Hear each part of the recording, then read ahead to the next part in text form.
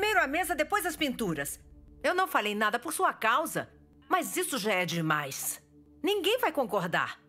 Só vai prejudicar, não tem nada de bom. O Pachá Ibrahim não vive sozinho, ele tem a Atice. Vão ter filhos juntos. E isso pode fazer mal a eles. Essas coisas devem ser destruídas logo. Afinal, essas coisas são ídolos. Você tem que fazer alguma coisa. Enquanto eu viver, as estátuas vão ficar no jardim do Palácio do Ibrahim.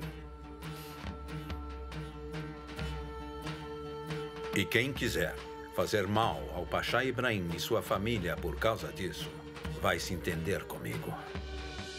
Está decidido. Como a sua mãe, o meu dever é falar o que pode acontecer.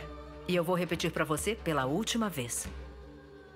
Está cometendo um erro.